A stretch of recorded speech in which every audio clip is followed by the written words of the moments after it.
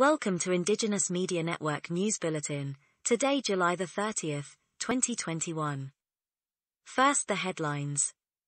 The Gambela People's Liberation Movement increasingly worried of ruling party strategies of intimidations and harassments.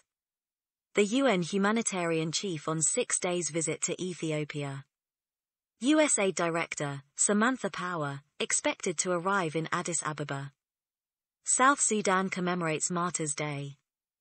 News in details. Gambela. The Gambela People's Liberation Movement expressed its disappointment of the regional and national election results.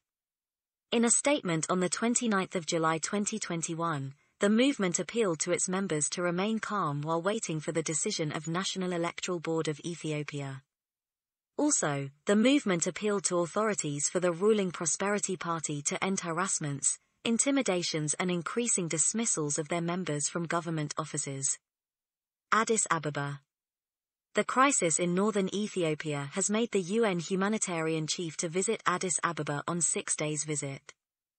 On his visit, Martin Griffiths expected to hold talks with Ethiopian authorities to push for access to war-affected areas in northern Ethiopia.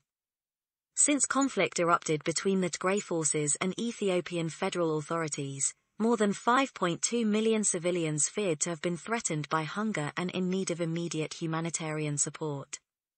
Also, USAID Director, Samantha Power expected to arrive in Addis Ababa on similar mission to ease tension and provide humanitarian assistance. South Sudan. Ten years after gaining the independence from Khartoum, South Sudan today remembers more than 2 million fallen souls who died in the liberation struggle.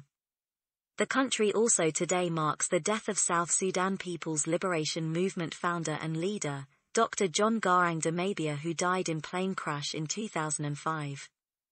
Thank for listening, join us again in our next news bulletin.